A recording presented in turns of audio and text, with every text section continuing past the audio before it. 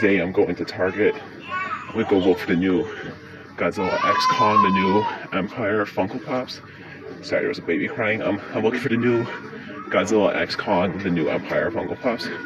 I heard they were hitting stores. Um, I'm gonna look around. I'm not gonna buy any today. I hide something, um, but here's I'm gonna go look real quick. For what we can find them. Well, stay tuned. Okay, guys. Oh, guys, good luck. They do have them.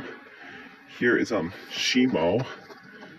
Pretty awesome. Okay, guys. So finally, we found the new Godzilla X Kong, new Empire Funko Pops here. Got Shimo right here. Shimo looks super cool. Here's the back of the box of all the others. This looks super cool.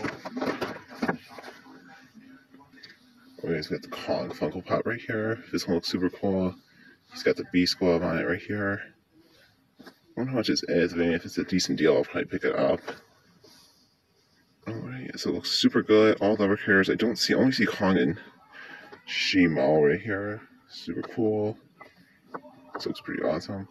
Guys, we got this other Kong one right here. He's got the Beast Glove and the Battle Axe in this one here. This looks super cool. Here are the two differences right there. Looks super cool. So these are the only ones I found right here. So thank you guys for watching. I'll see you guys in the next video. Thank you for watching.